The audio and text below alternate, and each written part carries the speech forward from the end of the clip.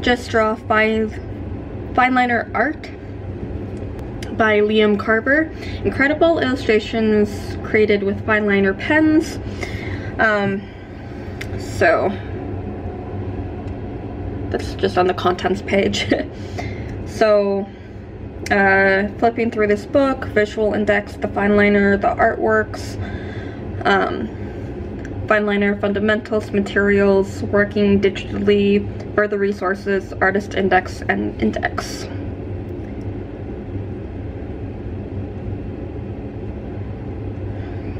So this is the visual index. So you get like a mini picture with the page numbers. So this would be kind of cool just like as a gallery wall type of thing.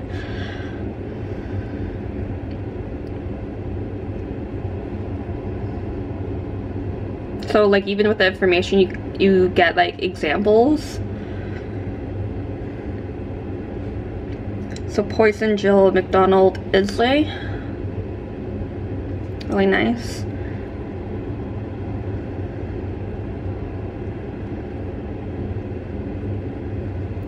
So like you get like information of like how they like did it and the materials, the dimension, and then just the image.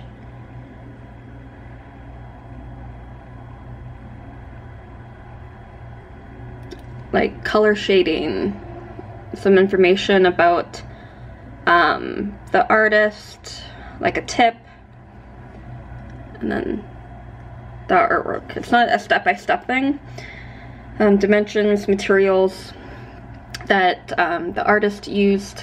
So you get like using a compass, the artist's name, the materials, information. Um, tip is like defined by like that um, marker, pen illustration. So like this one's really nice. So um, Josephine Savard um, cork texture, silhouettes with lines. So like it's like fox, but you get like an image within the fox.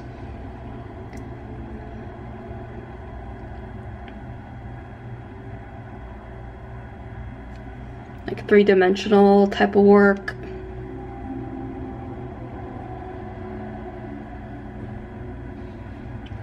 So like it's really good um, like it's the end product you're not getting a step-by-step -step. oh here's how to draw a sunset with fine liners or whatever you get like a basic kind of tip introduction and like information about like the artist and the work that is used as the example for it so um, it's a really nice book to look at uh, for like um, a finished product type of thing so um, like it's more like technique tip type of thing, introduction to the work again. Um, but yeah, it's really nice um, as a aid or resource. Um, like just something to go back to. Um, but yeah, just draw fine liner art. Happy readings.